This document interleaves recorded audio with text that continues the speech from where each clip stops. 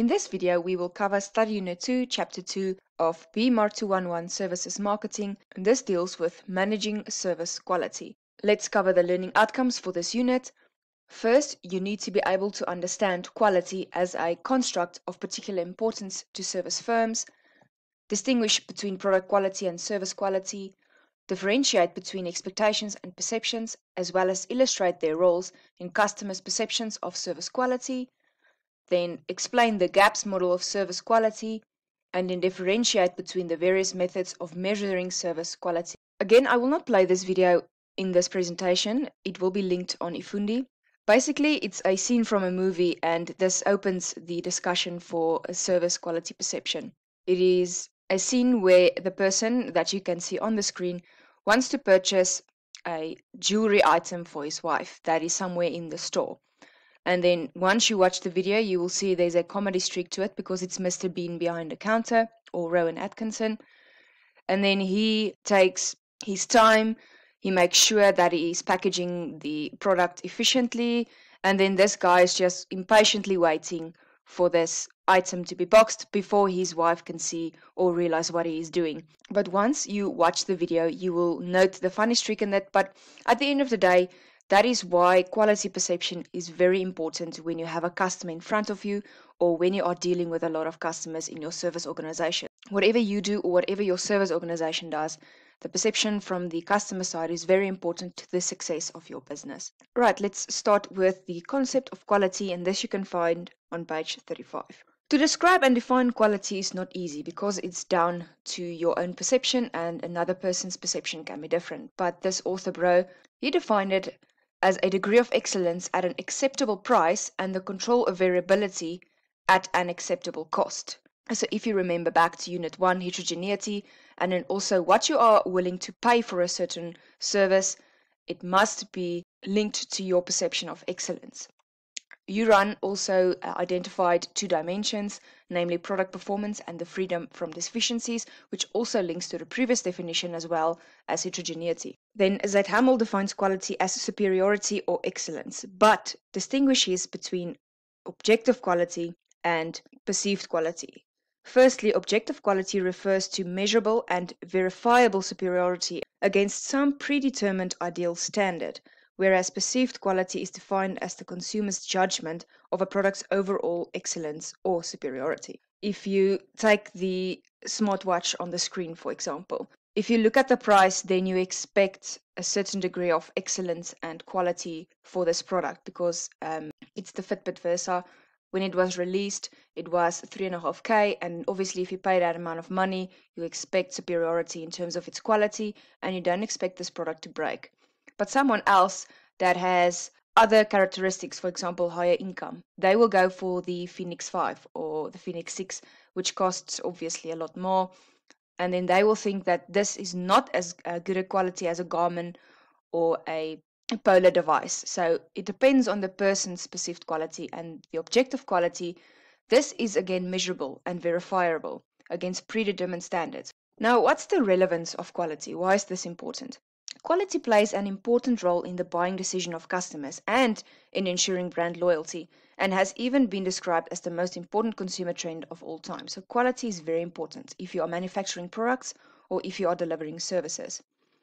Failure to satisfy customer demands for quality is likely to have serious implications.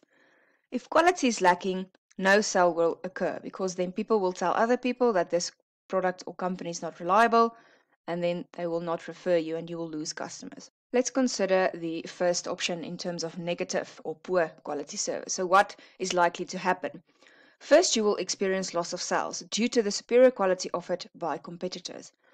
Secondly, there will be an increase in cost as a result of customer complaints, product liability, the redoing of defective work, and the scrapping of products. So, if your product is defective, usually the customer will return it, and then that will cost resources to have that replaced or then if they don't want a new product, a refund, so it will cost you more money. Next, in some cases, it can also lead to a threat to society. The products of an industrial society exert an influence on the general quality of human life. If you take, for example, a dump site, and if it's not managed properly, that's still a local and public service. then you already can imagine the impact that this have on human life. And it is definitely a threat to the health of the society in that environment. You can also consider the opposite of this, for example, high quality service and what this will lead to.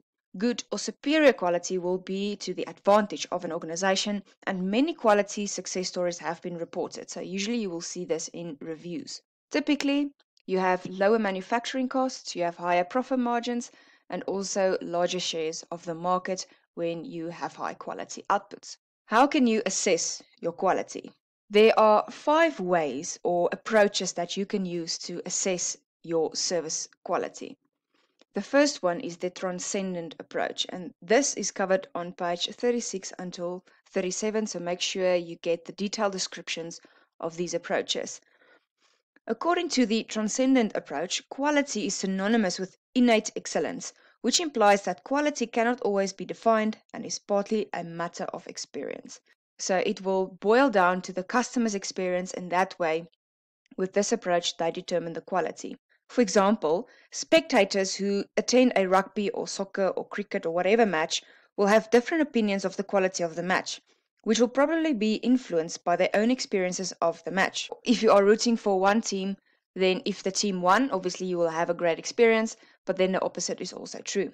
Next is the product based approach, and this is in line with the approach to quality. So differences in quality are caused by the quantity of features or attributes of a product or a service.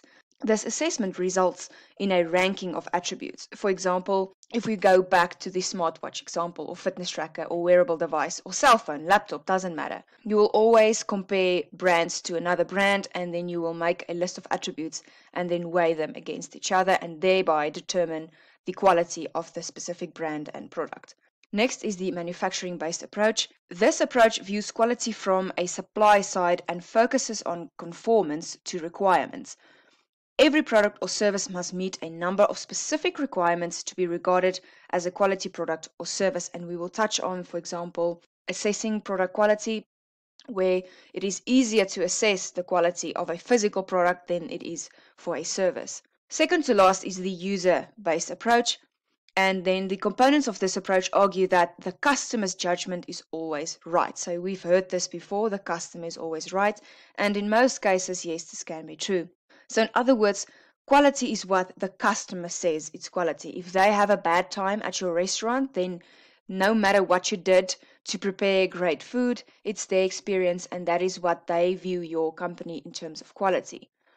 Lastly, is the value added approach. This approach considers quality in relation to cost and price, so the price versus quality perception in terms of the value that you got from the price you paid for your product or your service. Quality is only considered good if the price is acceptable for the quality received or when the price or costs are low. Make sure you review these concepts and be able to apply them to a case study and describe them.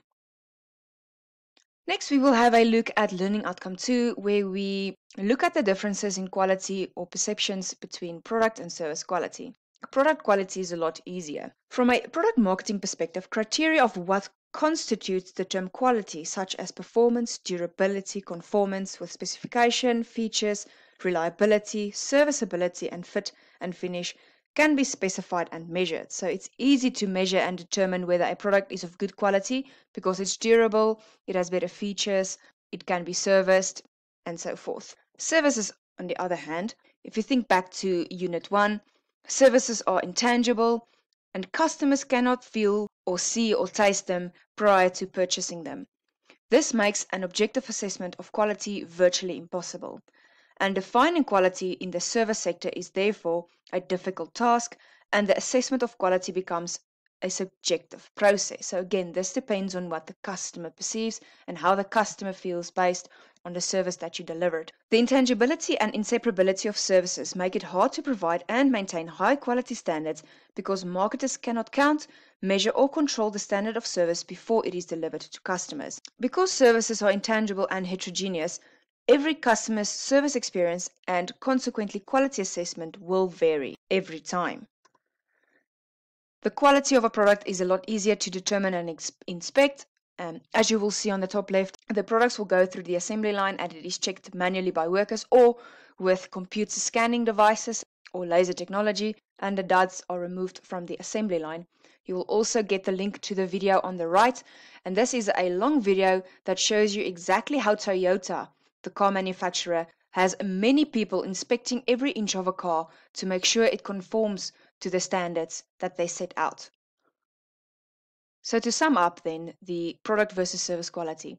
In terms of product quality, this is related to technical specifications proven as accurate descriptors of quality, whereas with service quality is a perspective that requires long-term overall evaluation of service performance.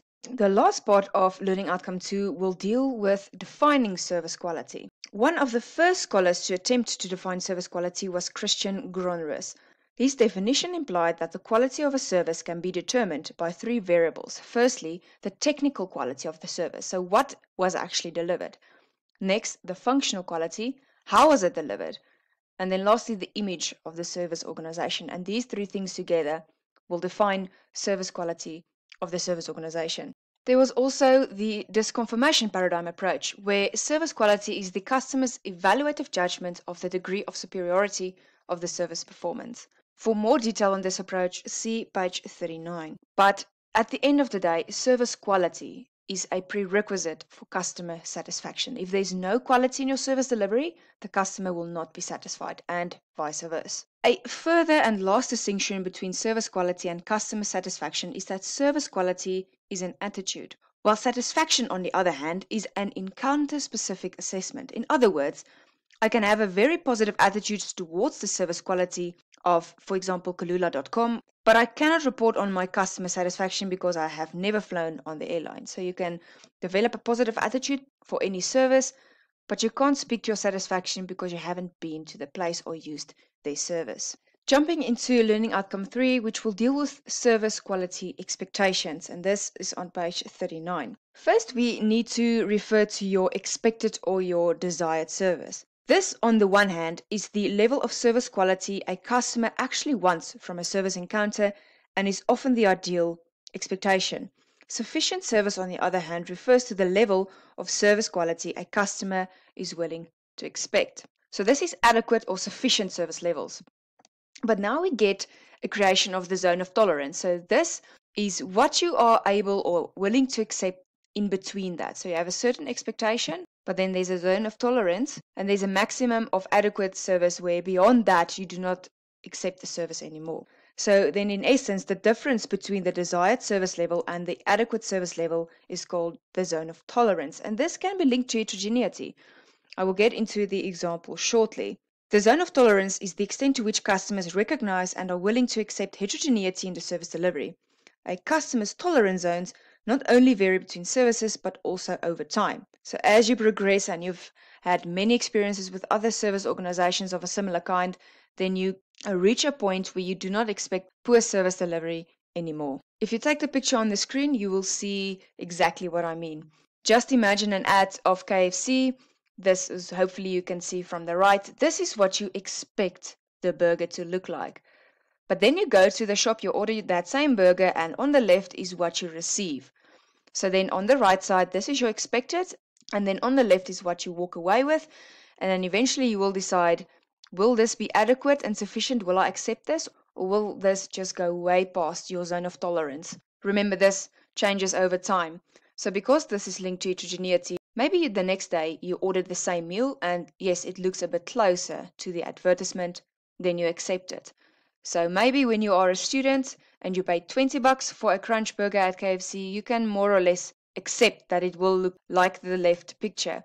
But as you grow older, you will no longer accept this when you pay a lot of money for food, and this obviously will change your perception over time. So then just to recap, the expected and desired service level, if that is what is delivered, you are satisfied, or when it goes past this on the left of that burger, then you are dissatisfied. Next, we will refer to the service quality dimensions, and this is a very important part of this unit, as you will need to be able to apply this to case studies and understand the differences between these important elements. On page 40, you will see the 10 original service quality dimensions. So refer to page 40 to get more details on examples. So this included tangibles, reliability, responsiveness, competence, courtesy, credibility, security, access, communication, and customer knowledge. So these dimensions were very important to determine service quality in the past, but now they've been reduced to five dimensions of service quality, and this is also covered on the same page. And you need to go into detail in the textbook to understand these concepts, and you will also practice them in the activities. The first one is assurance. This refers to the knowledge, skill, and courtesy of service employees and their ability to inspire trust and confidence. Next is uh, the dimension of empathy. This relates to caring and the degree to which customers receive individualized service from employees. So, customers all have different needs, and you, as a service organization employee or manager, need to make sure that your employees have the knowledge and care that these individuals need individual or different services from the next customer and actually provide that service. And then reliability, this is a very important uh, attribute or dimension, and this is the ability to perform a promised service dependably and accurately. Next, we have responsiveness. This relates to the willingness of the service provider to listen to the customer and do what the customer wants. So if you take your cell phone back to Telkom or Vodacom or MTN, and you explain to them that it's not working, it doesn't connect, it shuts off, it doesn't do anything that you want it to do, and then they need to have this willingness to listen and deal with your problem. Then lastly, tangibles, which is an easy one. It relates to physical facilities, equipment, and appearance of personnel. So we touched on this a little bit with the service value mix in terms of the physical environment. As a service organization, you need to make sure your physical facilities are on par and it is a great illustration of your service. Also, the equipment should be in a working and great condition and the appearance of personnel. You don't want to go to a service organization and you don't even know the people working there because they are not differentiated in terms of their attire. So make sure you are able to identify the five dimensions of service quality, describe them, and apply them from the case study, as well as read a case study and identify the appropriate elements that were either present or not present. We also refer to customer defined service standards. And this is where expectations are the beliefs about the level of service that will be delivered by a service provider. Also, customer expectations are based on their past experience, word of mouth, as well as advertising. So, what you see is what you expect as a customer. It is therefore a challenge for managers to identify service delivery standards accurately. But the following factors should be considered when managing service quality expectations. So, these include listening, reliability, basic service, service design, recovery, and consumers. Make sure you cover these elements on page 42. The term customer defined standards refer to operational standards based on pivotal consumer specifications that are visible to and measured by customers.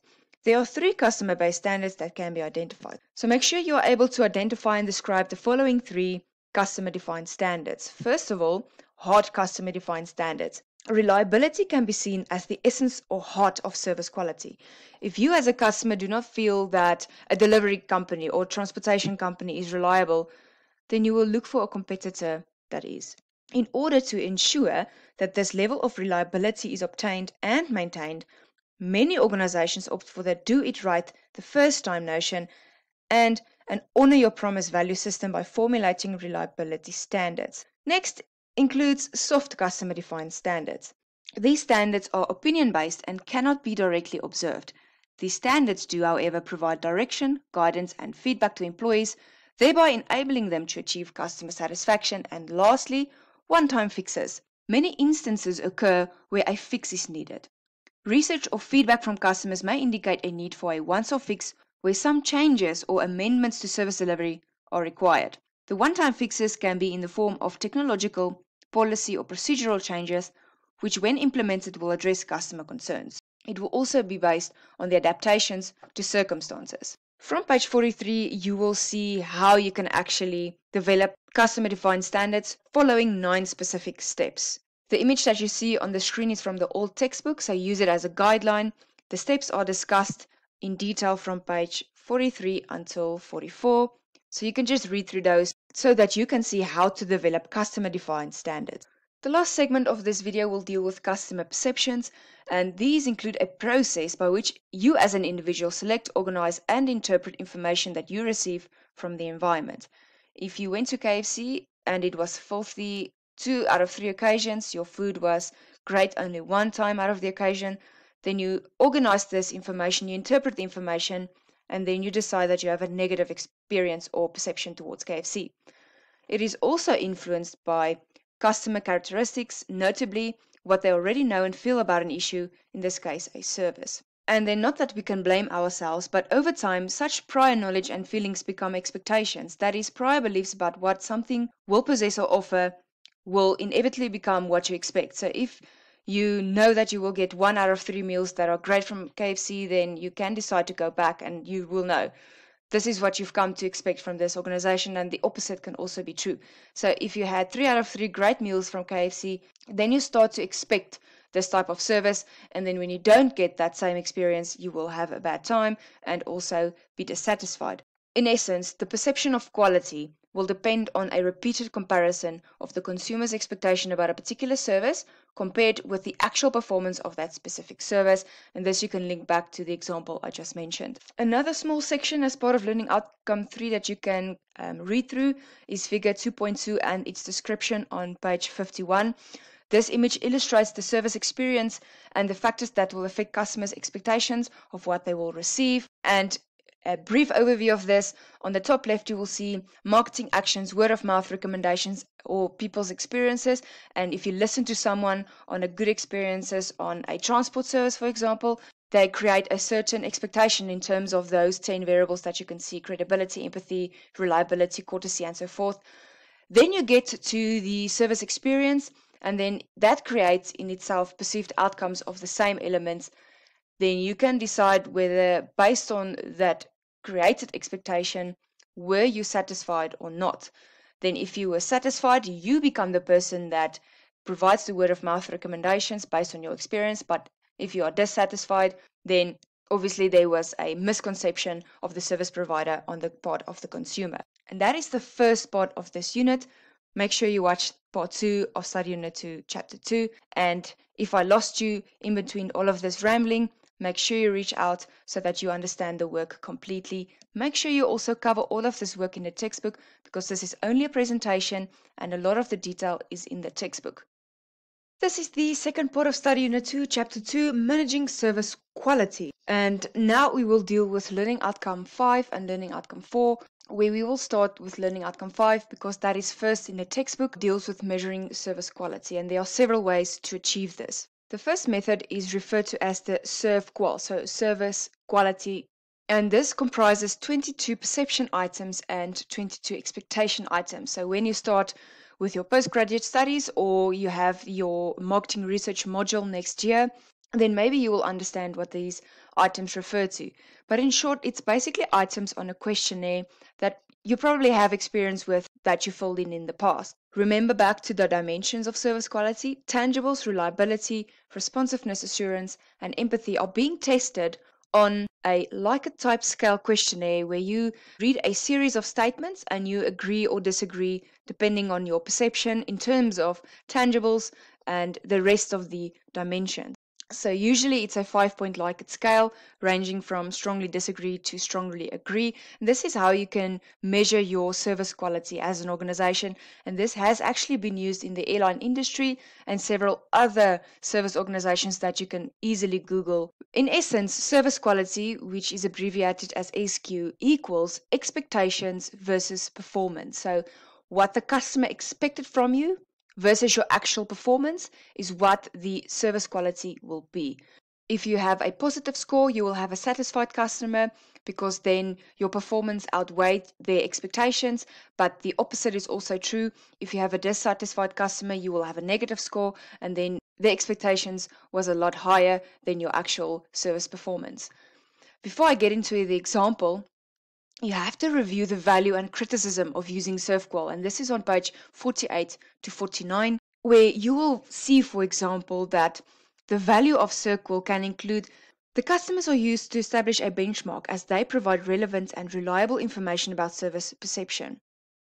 So when they fill out these um, questionnaires for you, it provides a benchmark as to where you stand in terms of your service quality. And then, for example, a criticism this model is only suitable for service organizations like travel agents, but it is not suitable for organizations that offer tangible products like clothes and spares, hence ServQual. It is the quality of services, not products. Just to illustrate kind of what this questionnaire is all about. So on top you will see ServQual is the measuring instrument and you will see the five dimensions. There are four items that they use to measure the tangible. So let's take a travel agency as an example. So do they have up-to-date equipment? Agree or disagree? Are their facilities visually appealing? Do they have well-dressed employees? If you answer, for example, a three, then you're then they are kind of in between. And then are facilities consistent with the industry? If you take, for example, assurance, are the employees trustworthy? Do the customers feel safe in their dealings? So, for example, are they fearful of losing their money? Do they have the assurance that their money will go towards what they are um, planning in terms of their trip and travels? Are the employees polite? And do the employees have support to do their job well? So, this is what you as a customer will fill in for a specific company, let's say an airline or any other service, and then at the end of the day, they can determine whether their actual performance reached your customer expectation. And this isn't just something that's in theory and in a textbook, it is actually being implemented in real service organizations. But now there are also two alternative approaches to measure your service quality. The first one is the ServPerf, so performance only. This should look familiar to you. You can also think with regards to a robot system, so green light, yellow light, or orange light, and then red light, and that you can use as a gauge to review or rate a specific service organization. So it can be in a five point Likert scale. So, um, how do you feel about the service? Then you can say, yeah, well, it was a four out of five or so. Then a three point simplified scale, which is the example on the slide. And this is also figure 2.1 on page 50. So they can ask you Please rate my service. I know FNB uses this. It's a one pager they give you after a consultation, and you can rate them by circling a face. Another way is the importance performance approaches. This is covered on page 50 to 51, so just read through what all of these quadrants mean. The last topic that we will cover for this unit is Learning Outcome 4, and this is the GAPS model of service provision. And this is the GAPS model of service quality. And this, again, also, it's not just a concept in theory, this is also being implemented in various service industries. And a quick Google search will reveal the industries that um, use this GAPS model. And you will also find a lot of videos on the internet, especially YouTube, on the GAPS model. But for the purpose of this module, stick to the information and the gaps as described in the textbook, but you can always use other sources to add to your knowledge. Now, the five gaps which we will touch on in detail first is the knowledge gap, standards gap, the delivery gap, the communication gap, and the overall service gap. Refer to page 53 to see this image and follow the scheme to understand how the arrows work and how the gaps exist. I will provide a brief description of these gaps and you have to make sure that you read all of the detail starting on page 52. The knowledge gap reflects the difference between customers' expectations and the organization's perceptions of those customer expectations. So, what you need to know in terms of the gaps model is what the gaps are. First of all, identify them, what each gap means, and then also how to close the gap. So, strategies the service organization can use to close the gap. So, a quick example of this if you have DSTV or Showmax Pro, for example, as a customer, you would expect new content on a general, regular basis, but then management thinks that customers expect repeats. And then there's a knowledge gap between what the customer expects and what the organization, which is then DSTV or MultiChoice think customers expect. And this is the knowledge gap. How can they close this gap? So, DSTV, MultiChoice, or any organization that experiences this gap can close the gap by developing a better understanding of customer expectations and perceptions. And a practical way, which you should also think of, is they can conduct research. Ask customers on their social media pages, what do you expect of us? And then obviously they will comment, and then MultiChoice, any service organization, can close this gap because now they have a proper understanding of what their customers expect of their service delivery. Next is the standards gap, and this refers to the difference between the organization's knowledge of the customer's perceptions and expectations and the service standards that are in place. So now they have conducted their research, they know exactly what customers expect. For example, they want the latest series um, from the US, they want to be notified on their apps that uh, a new season has released. They also do not want that many repeats. Okay, so MultiChoice now they know this, they have this knowledge. but their service standards does not allow for this knowledge and hence a standards gap exists. So even if they know that customers want new updated releases, it is not written into their standard procedure and then the gap exists. The gap can also occur because of insufficient standardization of tasks, absence of goal setting, inadequate management commitment. So there's a lot of different scenarios where a standards gap can be created, and this depends on the type of case study and the type of scenario that the service organization finds themselves in. At the end of the day, they need to set service goals. So organizations need to set or establish goals of standards to guide employees' actions and behaviors and to deliver a consistent and high quality service. These goals should be based on customer needs and expectations. So once they have the knowledge of the customer expectations and needs, they need to train employees so that they can close the standards gap. And hopefully now you can answer how this gap can be closed. Next, we have the delivery gap, and this is a lengthy gap that requires a lot of attention for any service organization because as a service organization, the delivery of your service will greatly affect the quality and perception and satisfaction of your customers.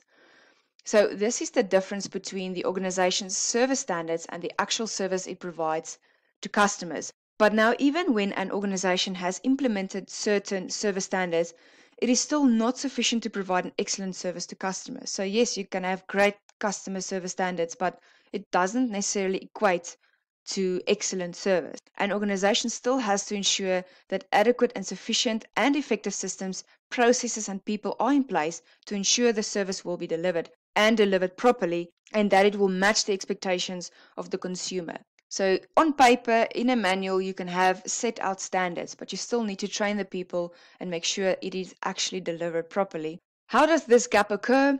It occurs due to ambiguity regarding employee roles there are conflicting roles, so it overlaps and still there's confusion. Poor employee job fit, and this happens unfortunately a lot. There's also a lack of teamwork. For example, one person would want to take over everything, or there are people that do not want to work as hard, and then that creates um, confusion, frustration, and also a lack of teamwork.